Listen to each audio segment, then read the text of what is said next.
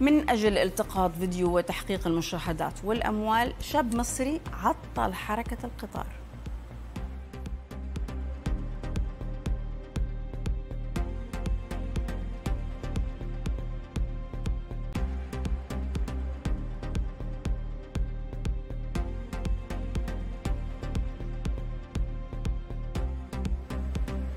الواقع صارت في محطة منشية الجبل الأصفر بمحافظة الأليوبية وجري ونط ونط كده يعني عشان ياخذ صورة. فسائق القطار اضطر إنه يوقف القطار خوفا على الشاب الشاب ما سمع الكلام ولا نزل.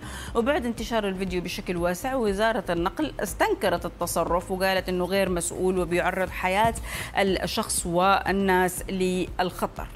وبعد ما تم فتح تحقيق في الواقعة نشرت وزارة الداخلية اليوم بيان قالت أن التحريات تمكنت من تحديد وضبط مرتكب الواقعة والمصور كمان واللي اعترفوا أنهم قاموا فعلا بتصوير هذا الفيديو لتحقيق مكاسب مالية. ونشرت كمان الداخلية صورة للشابين وهو هم مقبوض عليهم.